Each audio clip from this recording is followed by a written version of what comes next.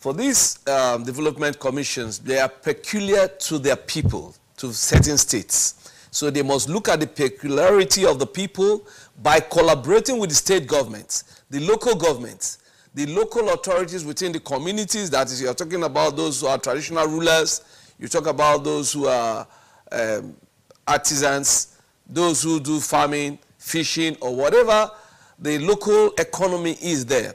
They must look at those, their critical needs, because it is meant for their development. It is not a, uh, a holistic thing to say we are, we are doing roads, then you do it across the local governments. No.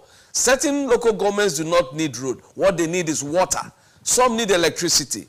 Some need you to take care of the erosion problem that they are having. So the peculiarities of the people is paramount to the success of these development agencies or commissions as they, may, they are called. In terms of the Niger Delta Development Commission, their specific roles have been spelled out clearly. They are, they are an interventionist agency made to create an, an enabling environment for oil production to take place and to take care of the needs of the oil producing communities. That is their, that is their responsibility, nothing else. Any other thing is just an addition. So it is different from these um, uh, development agencies that is made for each, uh, each geopolitical zone. It's a different thing altogether.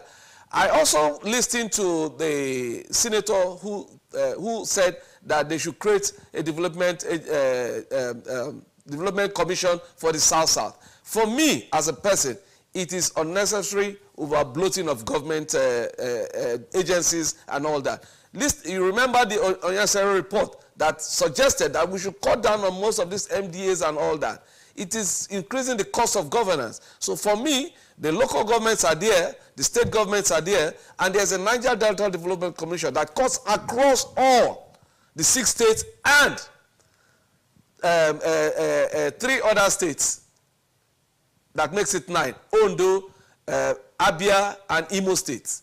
You know, so for me, there's no need for any South-South Development Commission any longer. All right, uh, thank you.